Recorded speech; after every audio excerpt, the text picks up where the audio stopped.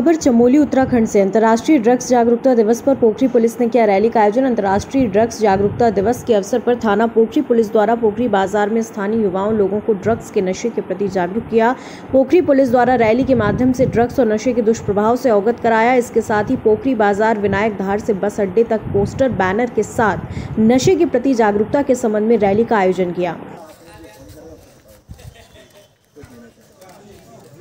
नशे इस जो इस तरीके का नशा है इसी का खाने पीने ये तो दारू के हुआ?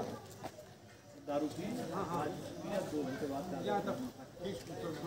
लेकिन अगर उसका नशा ब्राउन शुगर है हेरोइन है कोकीन है अफीम है क्या क्या बोलते हैं शीश है है खबर भारतवर्ष के लिए चमोली उत्तराखंड से सुरेंद्र धनीत्रा की रिपोर्ट। अपने शहर अपने प्रदेश की ताज़ा खबरों के लिए लाइक करें शेयर करें सब्सक्राइब करें। और हाँ बेल आइकन दबाना ना भूलें क्योंकि खबर हमारी फैसला जनतंत्र का।